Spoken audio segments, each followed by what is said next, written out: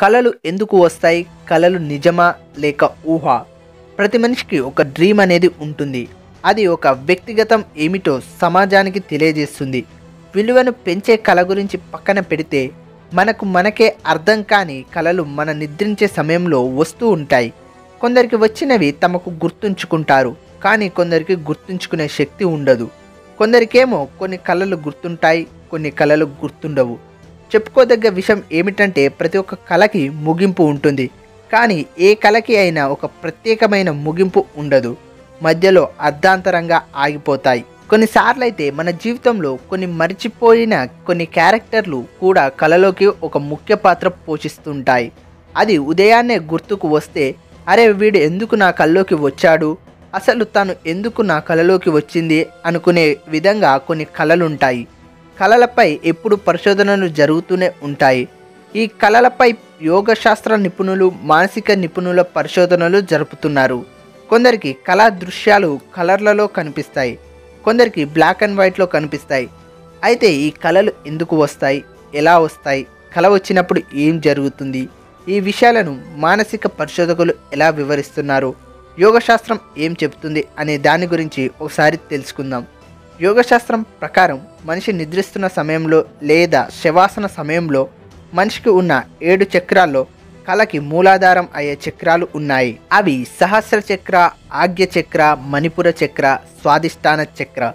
శరీరం పడుకున్నప్పుడు ఈ సప్త చక్రాలు వాటి పని అవి చేసుకుంటూ పోతాయి.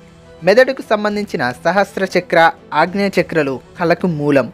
నిద్రిస్తున్నప్పుడు మెదడు కేవలం సుస్థవ్యస్త వ్యవస్థలోకి జారుకోవడానికి ఈ రెండు చక్రాలు ఉపయోగపడతాయి. కానీ మన ఆత్మ ప్రదేశాన్ని చుట్టి రావడానికి వ్యక్తులకు కలిసి రావడానికి మాత్రం నాభి ప్రాంతంలో ఉండే మణిపుర స్వాధిష్టాన చక్రాలు మూలం. మనిషి నుండి శరీరాకృతిని పెంచుకుంటుంటాయి. మనిషి ఆత్మకి శరీరానికి మధ్య ఒక కలయిక కరెంటు తీగ కనెక్షన్ లాగా ఉంటుంది. ఈ కలయిక ఆత్మకి నాభికి మధ్య ఉంటుంది. కలలు కంటున్నప్పుడు ఈ కనెక్షన్ వీడిపోకుండా ఆత్మ ఎంత దూరమైనా ప్రయాణించగలదు. ఒకవేళ గాఢ నిద్రలో కలలు కంటున్నప్పుడు మన శరీరాన్ని ఎవరైనా ఉలిక్కిపడి లేపితే ఆత్మకి శరీరానికి మధ్య ఉండే సంబంధం తెగిపోయే ప్రమాదం ఉంది. ఆ సమయంలో శరీరం ఉచ్ఛ్వాస నిశ్వాసలను తీసుకోవడం ఆపేస్తుంది. అదే ఇక ఆత్మకి శరీరానికి కలగకపోవడానికి కారణమవుతుంది. ఈ స్థితిలోనే నిద్రలోనే మరణించే వారిలో ఇది గమనించవచ్చు. ఇది యోగశాస్త్ర ప్రకారం వచ్చే ప్రక్రియ. ఇక మానసిక పరిశోధకుల్లోని ప్రముఖులు కాలజన్ వివరణ ప్రకారం కళలు మనిషి నిద్ర సమయంలో తన దైనందిన జీవితంలో గడిచిన కొన్ని సందర్భాల ఒత్తిడిలు కళలుగా మారతాయని చెప్తున్నారు. ఒక వ్యక్తి సమస్యలో కొట్టుమిట్టాడుతుంటే అదే ఆలోచన పదే పదే స్మరిస్తూ నిద్రించడం వల్ల మెదడు సుప్తవ్యస్త వ్యవస్థలో కూడా తన ప్రక్రియ కొనసాగిస్తూనే ఉంటుంది.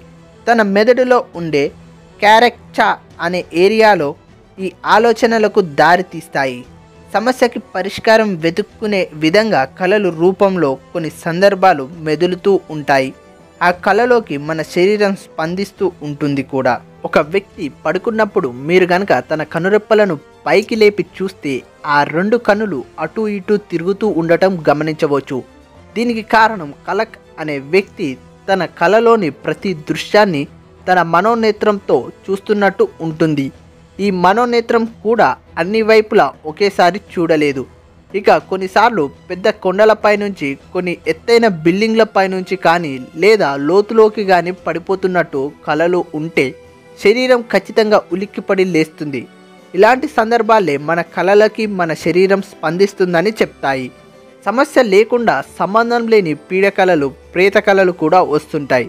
ఇలాంటి కళలు సున్నిత మనస్కులకు చిన్న విషయానికే భయపడే మనసు గల వారికి వస్తూ ఉంటాయి. కొందరి విషయానికి వస్తే తనకి వచ్చిన కళ నిజంగా జరుగుతుందనే ఫీలింగ్లో ఉండిపోతారు.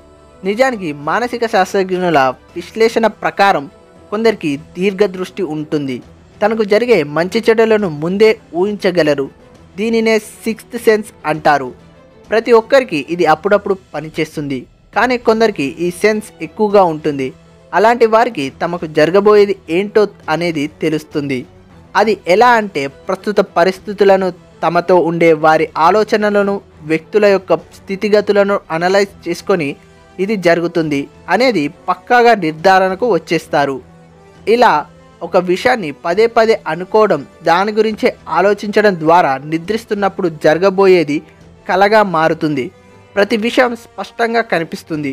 మీరు ఊహించినట్టే కొన్ని సందర్భాలు జరగడం వల్ల కళ నిజమైందనే భ్రమలో ఉండిపోతారు. మనిషి ఒక విషయాన్ని ఇరవై సార్లు పదే పదే మననం చేసుకోవడం ద్వారా లేదా అలవాటు చేసుకోవడం వల్ల అది జీవితంలో ఎప్పటికీ మర్చిపోలేని విషయం అవుతుంది. ఇక పొద్దున్నే వచ్చే కళలు నిజమవుతాయని అనేది కొందరు నమ్ముతుంటారు. దానికి కారణం కూడా ఒకటి ఉంది.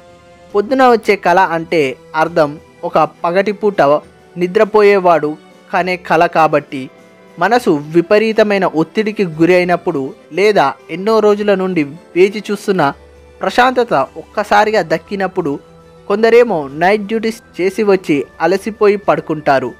పగటిపూట మనిషి సిక్స్ సెన్స్ బాగా పనిచేస్తుంది. దానికి తోడు సూర్యుడిలోని సోలార్ ఎనర్జీ మెదడును ఉత్తేజపరుస్తుంది.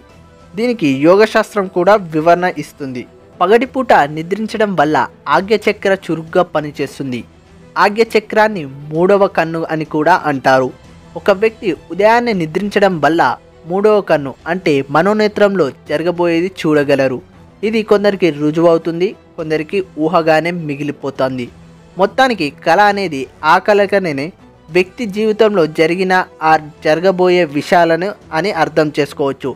అలా అని ఏదో ఒక హీరోయిన్తో రొమాన్స్ చేస్తున్నట్టు వస్తే అది జరిగింది జరగబోయేదని కాదు. మీరు ఎక్కువగా ఆ విషయం గురించి ఆలోచిస్తున్నారని అర్థం అంతే. ఓకే గైస్ వీడియో నచ్చితే లైక్ చేయండి. అలాగే మన ఛానల్ని ఇంతవరకు సబ్స్క్రైబ్ కాకపోయి ఉంటే మాత్రం సబ్స్క్రైబ్ అయి పక్కనే ఉన్న బెల్ ఐకాన్ని కూడా ఆల్లో పెట్టుకోండి. ఒకసారి ఆల్లో పెట్టుకున్నారో లేదో చెక్ చేసుకోండి. నా కోసం.